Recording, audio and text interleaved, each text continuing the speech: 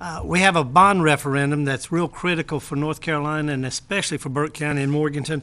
I'm going to ask Dr. Michael Helmick, president of Western Piedmont Community College, if he'll come forward and give us some information about the bond referendum to be held March 15th, 2016. Dr. Helmick? Thank you, Mr. Mayor and Board. Uh, My pleasure to be here.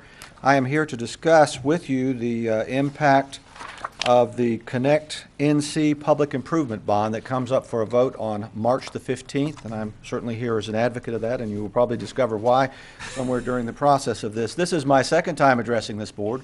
The last time I was here, it was 2010. I came before you all and asked that you allow Western Piedmont Community College uh, the ability to have chickens, pigs, and goats on the campus. You approve that. The chicken, pigs, chickens, pigs, and goats are doing fine. Thank you very much. We continue to have those folks on, or those animals on our campus.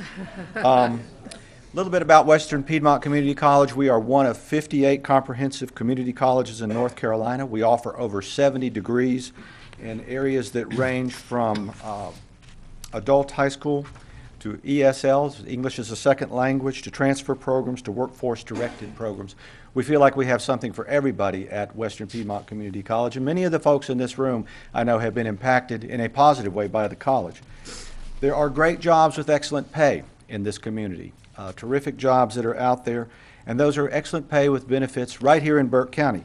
But those jobs require something beyond high school. And community colleges are in there to fill the void between what comes between high school and the workplace. North Carolina community colleges are different from other states. We are the third largest community college system in the country.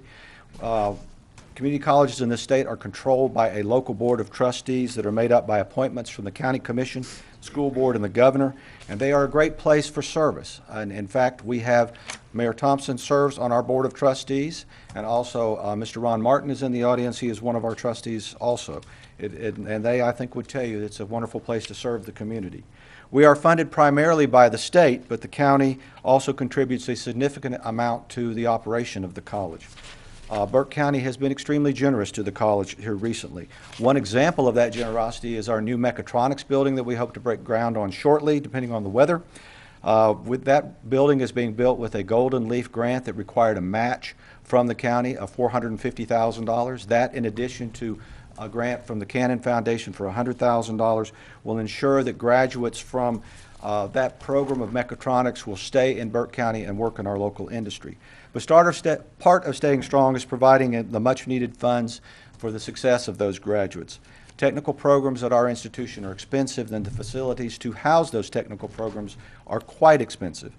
Uh, New state-of-the-art equipment and facilities is required to house that equipment, and quite frankly, it costs more than, than the local budget, the local county budget can bear. On March 15th, you all, you will, we will all have the opportunity to help ensure North Carolina's dominance and Burke County's dominance in science, technology, and engineering and mathematics, as well as helping propel the state forward in infrastructure, defense of our communities, agricultural growth, and tourism by voting for the Connect NC bond referendum. The $2 million Connect NC Public Improvement Bond Bill provides the following amounts for the state of North Carolina. I'm also going to break out the amount for Burke County as I'm doing this. There's a, at the end of this is, a- if you add it all up, there's about a $91 million uh, plus for, for Burke County.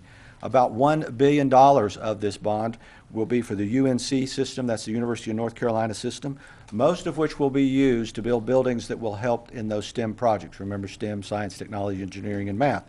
$58 million is coming to Burke County for the Western School of Math and Science to, to be located either on the Broughton campus or on the North Carolina School for the Deaf campus. An offshoot of the North Carolina School of Science and Math in Durham, it is part of the North, University of North Carolina system.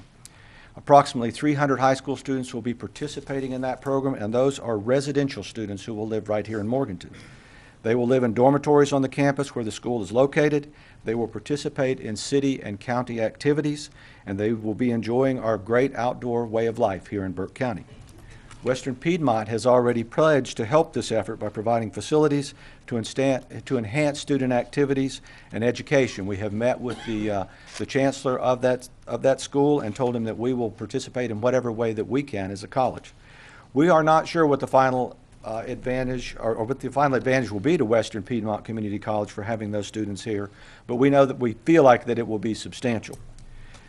In addition to that amount, $180 million is, is for agriculture to support the growth of farming and food production in the state, and some of those funds will be used here in North Carolina, or excuse me, will be used right here in Burke County. Remember the chickens, pigs, and goats that I referenced earlier? We have the largest sustainable agriculture program at Western Piedmont of any community college in the state. $78.5 million is in the bond for the National Guard and Public Safety uh, enhancement. $21 million of that is going to come to this county to retrofit the Western Youth Detention, also called the High Rise in this area, and uh, to make that a facility to serve as a, as a training facility for the National Guard. Western Piedmont has worked diligently with the military in the past. We are a military-friendly school, and we know that we will be called upon to provide additional educational opportunities at that facility. We are not sure what kind of uh, activities we will be doing out there, but we know that we are going to participate. There's an additional $312,500, $312,500,000 for water and sewer projects. Uh, We will have the opportunity in this county to, to uh, put in a request for those funds, and we hope that, that some of those funds will come to us. And then there's $100 million for parks and zoos, and included in that amount will be a new welcome center for Lake James Park and additional facilities for South Mountain Park. But the main thing that I want to emphasize with what I'm going to tell you tonight is the $350 million for the North Carolina Community College system. We stand to gain about $5.1 million at Western Piedmont. What that will do is help provide funds to help us build or alter our facilities at the college. The, uh, um, we're going to be retrofitting buildings that will allow us to accommodate more high school students on our campus. Are you aware, for example, and I hope you all are, that a student can earn a two-year degree or another credential from the community college system while they're still in high school and there is no charge for tuition? Did you know that Burke Middle College is the highest ranked middle college in the state and that the ranking includes the highest graduates of any middle college in the state? And that's right here at Western Piedmont Community College. For years, we have shifted students around in various buildings, and we have not, and, but we have had an opportunity to move some programs around, retrofit a building, and accommodate all of our partnership programs with Burke County Schools. This includes the recently added STEAM Academy that is now on our campus that moved there last year. As part of this retrofit, what we plan to do is consolidate more of our health science programs at the Foothill Higher Education Center, making management some of, uh, managing some of our largest programs easier and locating them closer to our major user, which is uh, Carolina's Healthcare Blue Ridge at Morganton. We'll be right across the street from, from that organization. As many of you are aware, we also have had security issues on colleges and school campuses all across the country. Recent events at Umpqua Community College in Oregon and other colleges across the world have, have pointed out that community colleges are what they call soft targets. And as we need to mo- do more to protect and secure our students on our campus, part of the Connect NC bond money will be used to develop an improved entry system for our buildings, ensuring that we can control access during normal operating hours and ensure the, the future safety of our student. I provided a few examples of what Western Piedmont plans to do with our Connect NC bonds, but let's talk about what the bond is and why it matters to you. There is a committee that has been formed in this county, and uh, that committee is headed by Spring Williams Bird at the Cooperative Extension uh, Service and Johnny Carswell, who is a county commissioner, who is in the audience tonight. Uh, And also Ronnie Thompson is a member of that community, or, excuse me, a member of that committee. I cannot not imagine that there would be opposition to the proposed bond issue, but there are some concerns that are being expressed, and I want to address those. There is no tax increase scheduled for this bond. The taxes to pay off the bond are already in place and will not be altered. North Carolina has a triple A bond rating, so that our rate of interest is very low. Hence, we qualify for a much better rate on the bonds. There's a false assertion that the bond will add about $800 million annually to the total debt service for the state, but the reality is that it will be somewhere in the neighborhood of about $150 million annually. And as I said, that has already been taken care of with taxes that are currently in place. There will be no county maintenance fees for the Western School of Science and Math as part, because they are part of the UNC system, and UNC takes care of their own buildings. They do not have the ability to tax the local authorities, so they will be handing the, handling the, the maintenance of those buildings. Many activities are being promoted across the state to educate citizens uh, about this bond issue. including a voter awareness day that will be at Western Piedmont Community Campus this Thursday at 11 a.m., where we will urge students to register, educate them about the bond, and provide additional information about the primary election that is coming up. I want to thank you this evening for your time and attention, and I would urge you that, urge you to vote for that, that bond when it comes up. Also want to close by going back to the beginning of my presentation and talking about the potential to grow Burke County and how that will happen.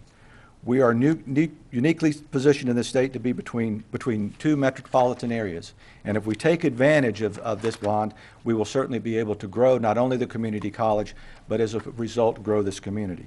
So I would urge you, I know that you have a resolution coming up, I would urge you all to approve that resolution and, uh, and, and go forth with this bond issue. So thank you for your time. Thank you, Dr. Helmick.